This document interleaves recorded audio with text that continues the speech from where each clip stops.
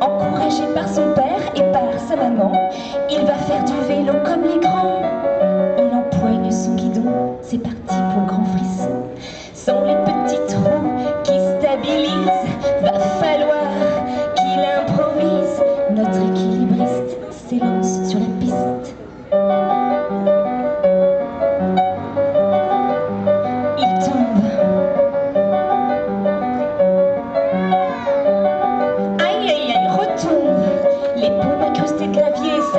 Et puis ça pique. C'est surtout vexant de tomber en public. Il va pas remettre les petits trous, ça serait pire que tout.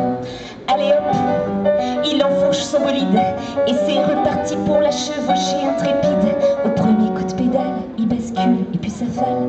Il fait rien qu'à l'énerver ce vélo qui fait que tomber. C'est quand même très énervant, ce vélo qui tombe tout le temps. Un coup de pied dans le porte-bagages, ça change rien, mais ça soulage. Vilain de faire des colères.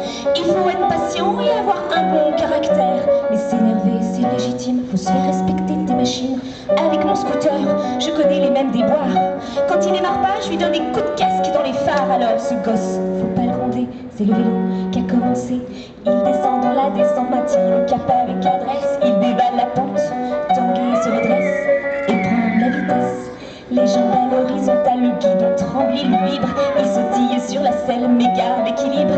Il veut faire coucou de la main et se vautre un peu plus loin. Il rachoue bien mais en caoutchouc, la dynamo d'un coup talon, puis piétine les rayons.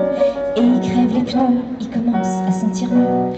Il fait rien qu'à l'énerver ce vélo qui fait que tomber. C'est quand même très énervant, ce vélo qui tombe tout le temps. Un coup de pied dans le porte-bagages, la sonnette, belle dégage.